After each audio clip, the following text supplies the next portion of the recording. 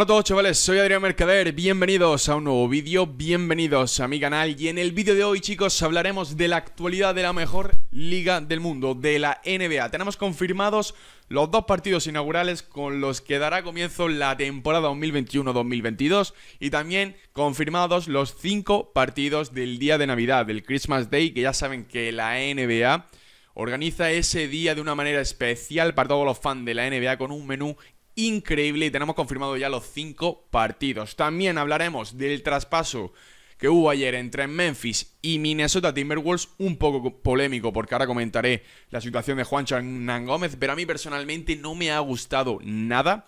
Y tenemos noticias sobre la última hora de Ben Simon y su relación con Philadelphia 76er que os puedo adelantar que no ha mejorado absolutamente nada. También hablaremos de Los Ángeles Lakers y de la oportunidad en el puesto de base para la próxima temporada. Isaiah Thomas parece que puede llegar a tener una oportunidad para volver a la NBA. Así que chicos, vídeo bastante interesante antes de empezar. Como siempre, dejar vuestro like, suscribiros si no lo estáis. Os agradecería muchísimo que en estos meses o en este mes de agosto, mejor dicho, donde todo el mundo está de vacaciones, dejéis vuestro like, que no cuesta absolutamente nada para demostrar este apoyo que me estáis dando últimamente con los vídeos, que está siendo increíble, de, de verdad, de aquí, con la mano en el corazón, os quiero agradecer todo el amor y todo el apoyo que estáis dando al canal en este mes tan difícil donde deberían bajar la visita y lo único que está haciendo es subir suscriptores, subir visita y estoy muy muy agradecido.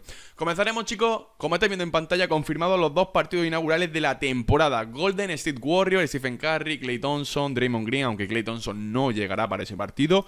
Contra Los Ángeles Lakers veremos el debut de Russell Westbrook, de Carmelo Anthony, de Trevor Ariza, de Dwight Howard. El nuevo super equipo de la NBA contra Golden State Warriors. Partidazo. Y luego, evidentemente, la entrega de anillos para todos los jugadores de Milwaukee Bucks contra Brooklyn Nets. Seguro que veremos dos partidazos para comenzar la temporada inmejorables. Y en el día de Navidad, el 25 de diciembre, tendremos cinco partidos. Un Atlanta Hawks New York Knicks, que después de la primera ronda de playoffs que tuvimos la temporada pasada, creo que apetece y mucho ver a estos dos equipos enfrentándose porque se formó una rivalidad bastante grande en el Madison Square Garden.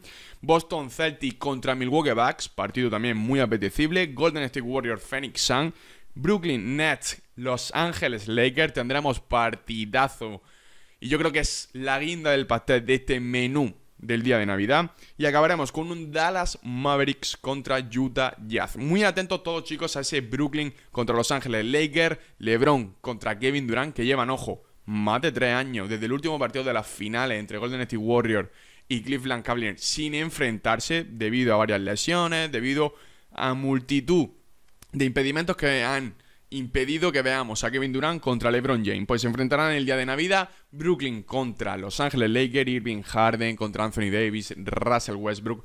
Va a ser un auténtico partidazo. Noticia también importante. Ayer hubo un traspaso, informado Adrián Wujanowski, como siempre, entre Memphis y Minnesota Timberwolves, que llevó a Juancho Hernán Gómez y a Jared Calvert a Memphis Grizzly y a Patrick Beverly se convierte en nuevo jugador de Minnesota Timberwolves. Primero vamos a analizar el traspaso. Minnesota con la salida o el traspaso, mejor dicho, de Ricky Rubio necesitaba sí o sí un base y creo que Patrick Beverly puede hacer una muy buena función dentro del equipo de Minnesota. Necesitan un líder, no dentro de la pista porque ya está Anthony Town, sino un líder carismático que aporte ese carácter, ese esa sangre caliente dentro de los partidos que tanto le falta a los jugadores de Minnesota que a la vez hay veces que parece que están un poco dormidos. Y por parte de Memphis consiguen a Jared Calvert, que es un buen suplente como escolta y creo que todavía no ha demostrado todo el potencial que tiene dentro de la NBA.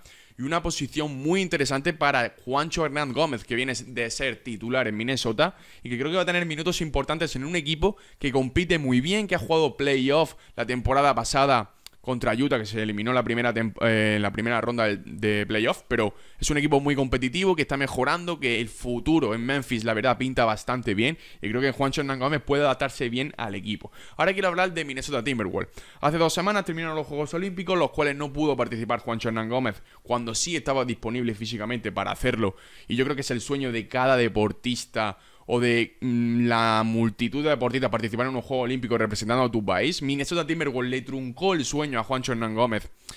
y no le permitió jugar los Juegos Olímpicos para que estuviese disponible al 100% sano, perfecto para el comienzo de la temporada. Y cuando terminan los Juegos Olímpicos pasan dos semanas y es traspasado a Memphis.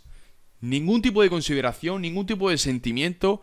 Es un objeto más de la mejor liga del mundo y la verdad me parece súper feo por parte de Minnesota. Aparte de que creo que no, han hecho nada bien las cosas, no puedes privar, aunque tengas el contrato y le estés pagando casi 12, 10 millones, 9, lo que sea. Es tu jugador y tú puedes decidir lo que haces con él. Perfectamente entendible porque al fin y al cabo eres su jefe, entre comillas, y le estás pagando un sueldo y tú decides si puede o no jugar. Lo primero de todo me parece súper feo truncar un sueño de cómo, es jugar los Juegos Olímpicos representando a tu país para luego dos semanas después enviarlo a Memphis Grizzly en un trapaso que yo personalmente pienso que salen perdiendo un poco los Minnesota Timberwolves porque ya Red Calvert y Juancho Hernán Gómez creo que son mejores jugadores, al menos Juancho, que Patrick Beverly, sinceramente. La verdad, han quedado muy mal, han quedado súper mal. Mm, la actitud que está teniendo Minnesota Timberwolves con Juancho, que ha tenido con Juancho Hernán Gómez, creo que es deleznable, creo que es para mm, no hablar más de Minnesota y sinceramente llevan muchísimos años en jugar playoffs lleva muchísimos años en el olvido en la conferencia oeste porque la gestión de la franquicia es totalmente penosa. Y sinceramente estoy bastante cabreado porque nos privó de un titular y un jugador súper importante en uno de los torneos más importantes internacionalmente hablando de baloncesto.